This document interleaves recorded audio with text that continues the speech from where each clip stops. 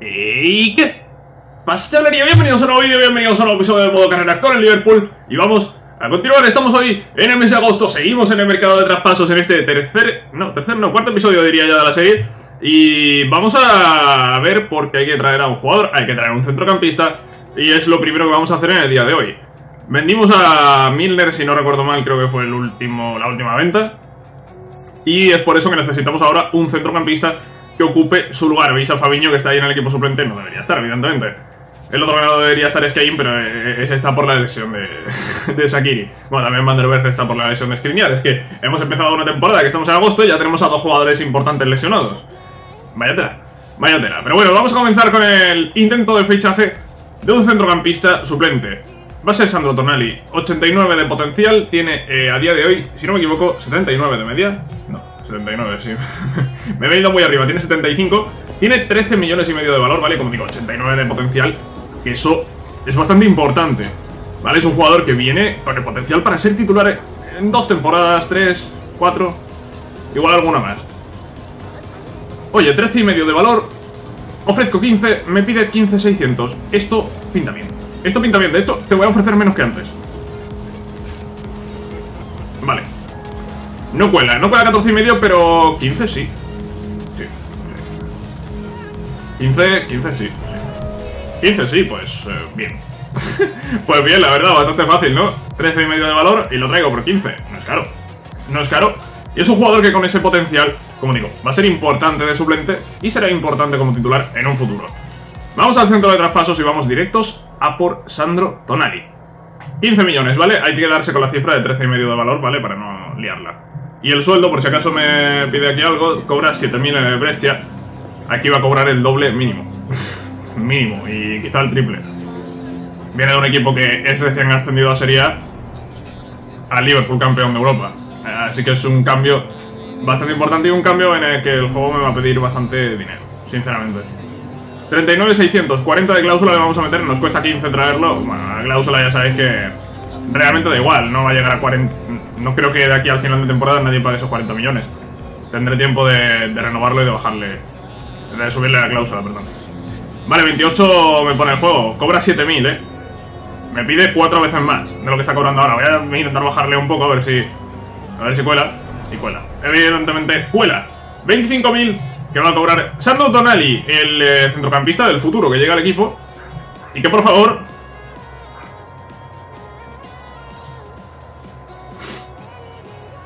ha perdido, ha perdido valor. Tiene 13 y medio y ah, ya lo estoy viendo aquí, 11 y medio. Pues nada, ya sabéis lo que hacemos aquí. Eh, yo os enseño un intento y ahora pues voy a probar varias veces hasta que este jugador tenga los 13 y medio de valor que debe tener. qué guay, qué, divertido es este juego. Por fin tenemos aquí a Tonali. No sé si ha sido la cuarta o la quinta, pero por fin sale con los 13 y medio de valor. Me desespera, de verdad. Esto, esto es que me desespera, pero, pero es lo que hay. Es lo que hay, nos lo tenemos que comer. Y ya está, vale, ya por lo menos está ya en el equipo, lo tenemos ya con el valor que tiene que tener. Y ahí va, Sandro Tonali al centro del campo.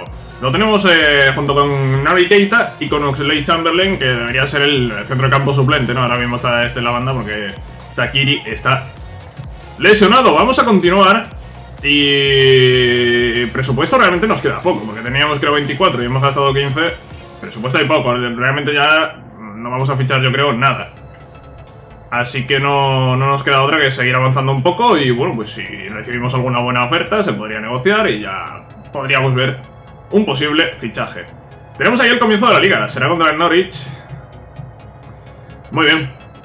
Muy bien, el calendario supongo que será el de la Premier League. Y pues nada, pues primera rueda de prensa para el primer partido de la temporada. Vamos a por ello, a ver qué, qué nos pregunta. No sé qué 11 tenía puesto, ya sabes que si tienes puesto el 11 suplente te pregunta sobre las rotaciones y todo eso. Bueno, la victoria de Liverpool en la FA Community Shield ha dejado a la afición con ganas de más. Eh, ¿Cómo afecta la victoria antes del primer partido de Liga? Hombre, pues eh, hay mucha calidad en la plantilla. Vamos a decir eso, ¿no? Hay mucha calidad, hemos ganado la, la Supercopa inglesa. ¿Te ha capacitado el equipo para ganar la Liga esta temporada? No voy a decir que el título es una obligación porque creo que el City tiene mejor plantilla.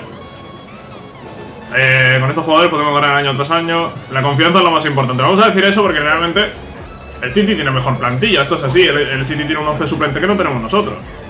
Y al final es, es muy importante tener eh, una buena plantilla, no un buen 11, sino una buena plantilla para competir la liga. Subestiman los jugadores al próximo rival. Subestimar al rival parece lógico, no, hombre. no es buena idea subestimar al rival. No. No, no, no es buena idea. A ver, el partido es en casa, se debería ganar en principio, pero no. No es buena idea porque tendremos una vuelta en el campo de Norwich y seguramente no ganemos ese partido. Navigate, quiero jugar. Me lo pensaré. No va a jugar. Vale, hay oferta del Breccia por Sumaré. Joder, tío, el Breccia le quitó a Tonali y se quiere llevar a Sumaré. Tiene sentido, ¿eh? Tiene sentido, no voy a decir que no. Y que que no se va. ¿Por qué será que no me extraña? Pues no lo sé. No lo sé por qué será que no me extraña, no lo sé. No. Vamos a ver el calendario, a ver si nos han colado algún partido por aquí. Vale, tenemos la Supercopa inglesa, claro. Eh, la Supercopa de, Europa, no la inglesa. La inglesa la hemos jugado ya. Tenemos la Supercopa de Europa contra el Chelsea, que en principio la vamos a jugar hoy. Sí. sí, en principio la vamos a jugar hoy. Pero hay tiempo desde, desde este partido hasta el del Chelsea realmente, así que vamos con el equipo titular. Es en casa, es el primer partido de la Premier League y tenemos un jugador lesionado titular que es eh, Milan Skriniar. Liverpool Norwich 5-0. Esto era lo normal. Un gol de Vignaldo, otro de Salah y un hat-trick de Sadio Mane. 5-0 goleada para empezar es un buen resultado. Evidentemente, evidentemente. A ver, Keita, ¿qué pasa, tío? ¿Qué pasa? Eh, creo que podría haberlo hecho mejor en el partido contra Norwich, pero gracias por sacarme, no te desanimes. ¿Qué tenemos? Oferta por Trent Alexander Arnold. Yo creo que esto no tiene ningún sentido, es que ni lo voy a negociar. Ni lo voy a negociar. A ver, ¿hay laterales mejores en este momento? Sí. ¿Hay laterales mejores a futuro? No. Por tanto, la respuesta es un no. Es que ni, lo voy a negociar. Hay, jugadores que puedo negociar, ¿no? Por ejemplo, Firmino. Pues sí, Firmino lo puedo negociar. Mané incluso lo puedo negociar. Eh, pero Alexander Arnold no puedo negociarlo porque es que de cara al futuro no hay ningún lateral derecho mejor. Es un jugador que tengo que tener en plantilla sí o sí, que no puedo venderlo.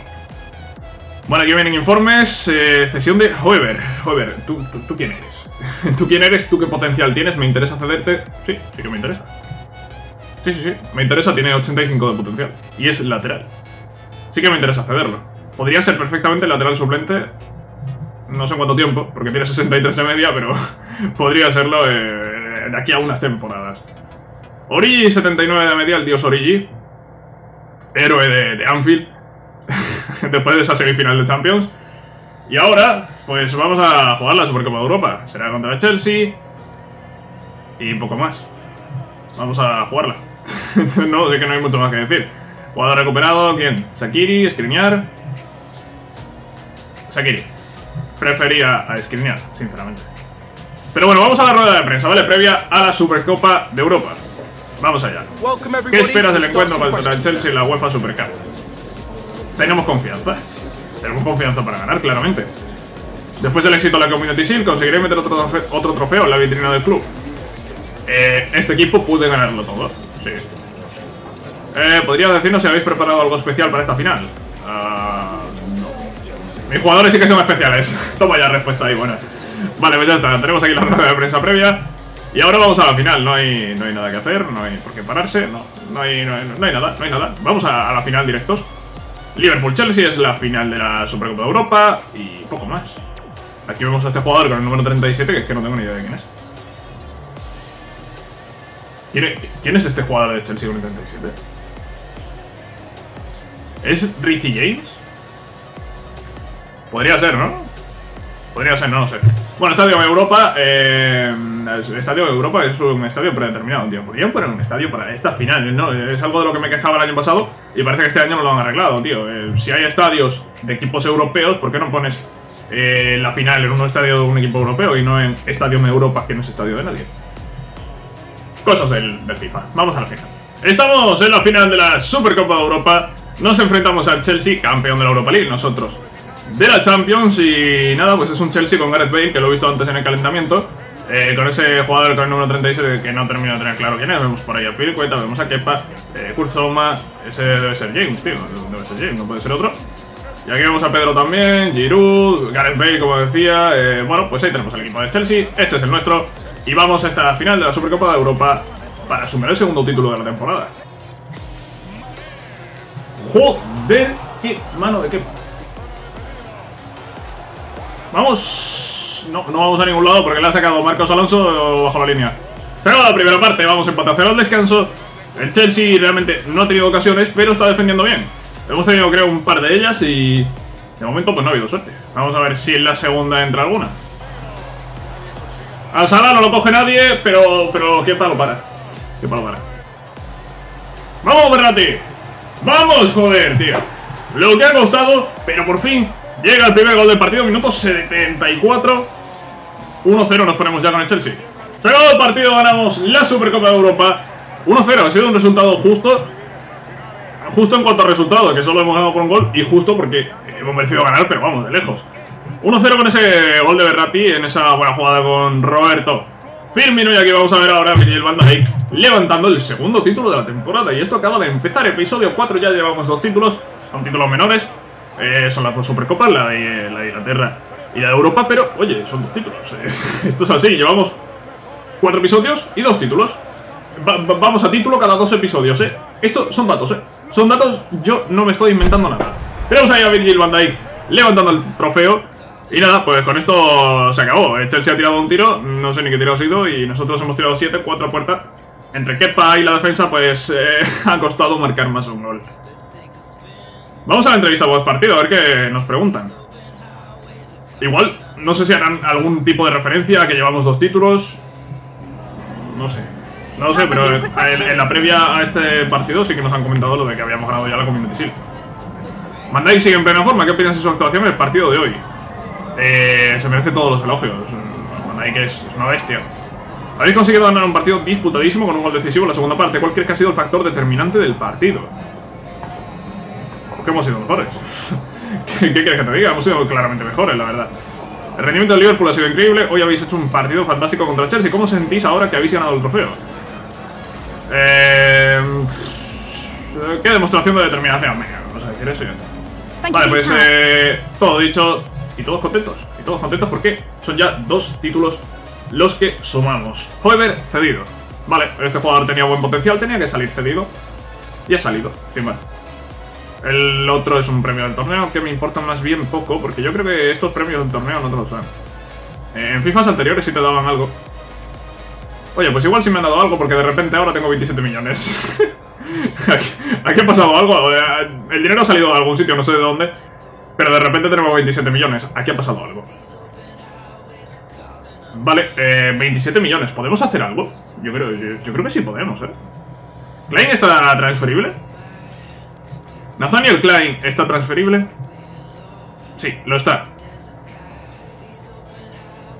A ver, intentamos fichar un lateral... Es que no me podéis contestar. Intentamos fichar un lateral antes de que se, vaya, antes de que se vaya Klein. Igual no es mala idea, porque ya sabes que cuando tienes muchos jugadores en una posición hay más probabilidades de que te lleguen ofertas por esos eh, jugadores. Y teniendo el dinero, porque lo tenemos, tenemos 27 millones, oye, no veo mala idea traer un lateral derecho. Porque viendo así, así por encima, ¿vale? Viendo los suplentes que tenemos, el peor claramente es Klein. Bueno, el peor es Adrián, pero ya tenemos a Unai Simón, ¿vale? Que tiene, tiene ese potencial para ser suplente por delante de Adrián. Y después de Adrián es Klein el peor. Es un jugador que tiene ya 78 de media, que tiene 78 de potencial, no va a subir más, y tiene 28 años. ¿Por qué no traemos un lateral derecho? Vamos a buscar un lateral derecho que suba el nivel de este equipo. Criterio de búsqueda, 24 años máximo, entre 78 no, venga, entre 75. Venga, entre 75 y 78 de media. Y potencial mínimo 85. Posición, lateral derecho. Vamos a ver qué nos ofrece sofifa.com. Mucha gente pregunta. sofifa.com. S-O-F-I-F-A.com. No hay más. Sofifa. Aquí tenemos varios jugadores. A ver. Varios jugadores. Laterales uno. Dos. Uno es Yasin Atal. Lo fichamos en el Betis, así que vamos a intentar no ficharlo aquí. El otro es Diego Dalot jugador del Manchester United. No sé yo si tiene mucho sentido fichar a un jugador del United. Aunque viendo cómo está el United a día de hoy, pues eh, no me parece tan locura que el Liverpool le quite jugadores. Diego Dalot, a ver, hay que tener en cuenta la rivalidad histórica entre Manchester United y Liverpool. Mm, voy a bajar los criterios o algo, no sé. Voy a poner el potencial 84 a ver si aparecen más jugadores. Hombre, algunos más va a aparecer, pero claro, van a aparecer jugadores peores. Si quiero fichar un jugador, el mejor es de Dalot. ¿Vale? Si quiero fichar un jugador, el mejor es Dalot. Y si no, pues bueno, ya tengo por aquí otras alternativas. Voy a intentar traer a Dalot. Tiene 10 millones de valor, lo acabo de, comprobar aquí. Y vamos a ir a por él, ¿vale? 10 millones de valor, es un jugador que no va a ser muy caro, tenemos 27. Tenemos eso para traerlo. Y solo espero que United no me lo deje muy caro por eso de ser club rival. Eh, sí, es lo único que espero. Es un jugador que puede jugar en ambos laterales, puede jugar además como medio derecho. Tiene 20 años, 75 de media, 85 de potencial, es que es un jugador que encaja a la perfección. Eso sí, es un jugador que encaja perfectamente. Tiene 10 de valor, comienzo con 12. Y parece que no me va a pedir mucho más de 12, porque me mete 12 y una cláusula de otro traspaso. Son unos 15, ¿no? O algo así. Sí, más o menos. Pues parece que no va a ser muy caro Diego Dalot. Eh, voy a ir con 12 y medio. Parece que no va a ser muy caro. Jugador que viene de un club rival, ¿eh? Hay que tener eso en cuenta.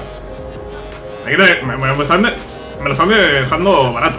Me lo están dejando barato teniendo en cuenta la situación. Vale, pues 13 millones 400... 13 millones 250, ¿qué te parece? Ahí cerramos ya. Pues ahí cerramos ya. Eh, representante de United, no es... Eh, no es Solskjaer. No es Ole Gunnar Solskjaer, eres eh, representante de Manchester United. No sé por qué no está, tío. Si los entrenadores de la Premier y todo eso, y todo lo relacionado con la Premier siempre está eh, licenciado, ¿no? Es un poco raro. Es un poco raro que no esté Solskjaer, pero... Oye, si no está, ¿qué quieres que te haga? ¿Qué quieres que le haga yo? Yo no le voy a hacer... O no le puedo hacer nada. Dalot, cobra 54.000. Cobra muchísimo. cobra muchísimo. Que, que no se note que United paga salarios altos, ¿eh? Que no se note. Cobra muchísimo. Eh, espero poder pagarle menos. No sé cómo va a estar el tema. Relevancia para este jugador. En este momento, teniendo tres laterales, ocasional.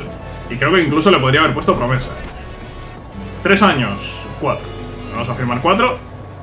Cláusula, vamos a ver si me ofrece algo, si me pone algo, y si no, pues... 27.700, pues 30. 30 de cláusula, me cuesta 13. No está... No está nada mal. Y por último el sueldo. Eh, vamos a ver si me pone el juego algo. Sí, mejor que me ponga el juego 42. Me pone menos, evidentemente. Porque yo no le iba a pagar 50.000. Y yo creo que incluso 40 va a colar. Pues 40 va a colar.